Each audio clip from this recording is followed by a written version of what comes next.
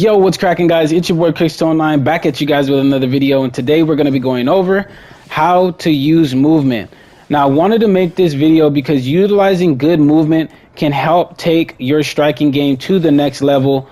Um, it's it's very very simple, but yet kind of tricky. So we're going to be going over three ways that I personally use movement to help uh, set up strikes in the striking game. So the first way that, or the first thing that we're going to be going over is how to use movement to mix up combination timing. Now this can be very important if uh, if you're just trying to throw your opponent off your rhythms. Now when you get up to the elite level, elite level guys are just trying to get your timing. They're trying to see what you're going to throw. So you're going to want to use movement to be able to mix up your combination timing. And what I mean by that is uh, you you maybe just throw two strikes, you step out, you come back in, throw one, two, come back in, throw three strikes, and just being able to mix up your combination timing to keep your opponent just on edge sometimes will give you just that little bit of advantage that you need. Uh, you see me do this to a lot of people on ranked. Um, I'll, I'll throw a jab, I'll back out, come in, throw a double jab, back out, come in, throw a jab, and then I plant and I throw a four piece combination. Now, why I do that is because I'm gauging to see what my opponent does when I do it. So if I jab, if I jab and then move out and I see them try to catch me with a combination, whether that be a one two or a jab hook or something like that, I know that they're going to respond every single time I hit them with a strike. So then I'll start setting it up and mixing up my combination timing by going one, and then I see them start to come out. So then I throw a straight lead hook that kind of stops them, does some solid damage. Or what I'll do is I'll jab, and if they block, if I jab them and I just see that they block and they don't respond with a combination, then I'll just jab. I'll come back and I'll throw a one-two, and it, then you get into block breaking, and it kind of starts to put a little bit of pressure on them. So that's how I personally use movement to set up my my combination timing. It's just simple. Just throw maybe one strike, come back, hop back in, and you're just moving in and out, gauging to see what your opponent is going to do, and then you can make reads off of that.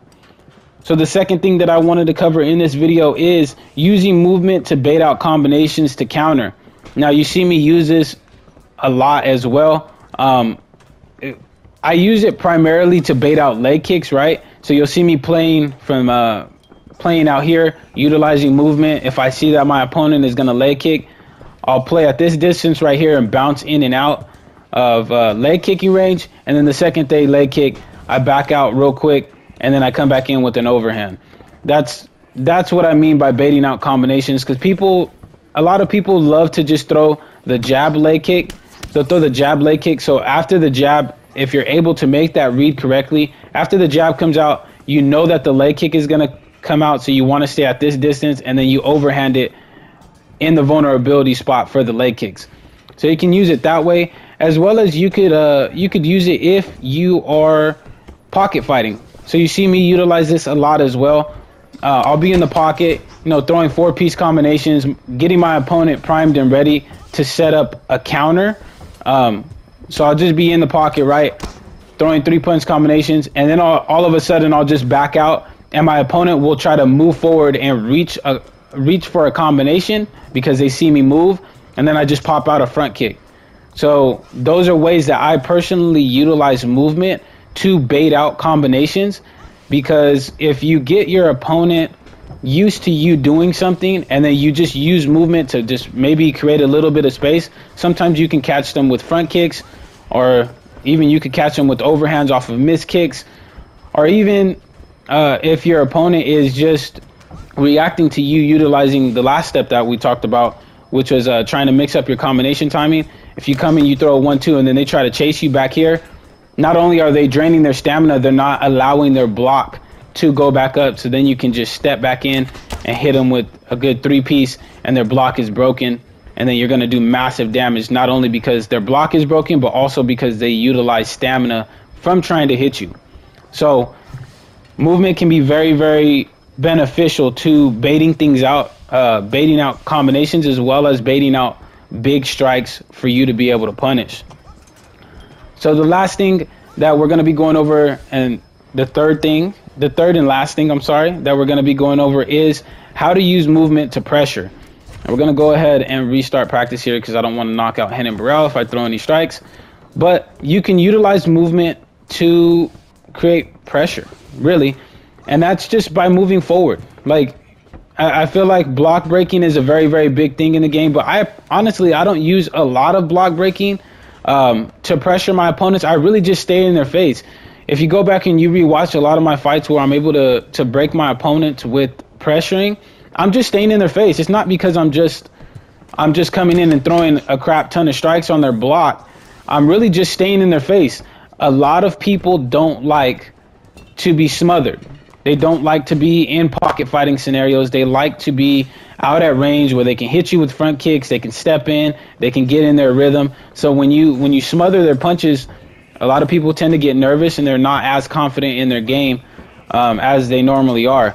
So in order to use movement to create this pressure, you just want to be moving outside the distance like this. So you come in one, two, you step out, and then you step right back in. Uh, this is something that I talked about in my pressure video a little bit, but I wanted to cover in the movement video.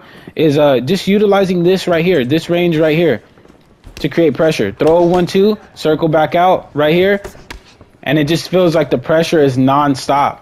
Um, if somebody's not used to fighting against somebody that plays this way, they're gonna they're gonna get real nervous, and then they start to make uh, they start to make mistakes, and then that's when you're able to capitalize because now you're playing right here where just a simple one two can hit them if they if they respond wrong.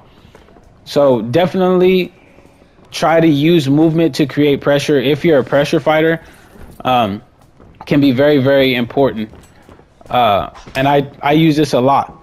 Uh, I use this in the ESFL tournament um, a lot to be honest. And I use even use this against guys like Ed Parker. If you go back and rewatch um, the video that I just made of my two fights against Ed Parker, I really didn't want to give him any space. So I used movement to create pressure, and I was able to get him back up against the cage where if he made one mistake and I rocked him, uh, it was potentially the fight. So this works against high, high level players as well, as well as intermediate to beginner players. So this is definitely something that if you're not using it in your striking game, that you want to use. But all right, guys, those are the three things that I wanted to touch on in the video on how to use movement to better your striking game. Hopefully these tips helped you guys out. Let me know in the comment section if you guys enjoyed this video and if you guys want to see more videos like this. Uh, if you guys are new to the channel, make sure to hit that subscribe button. I make tutorial videos as well as I make comp videos and all kinds of different videos for UFC 4. But until the next video, guys, thank you guys for stopping by, and I will see you guys later on.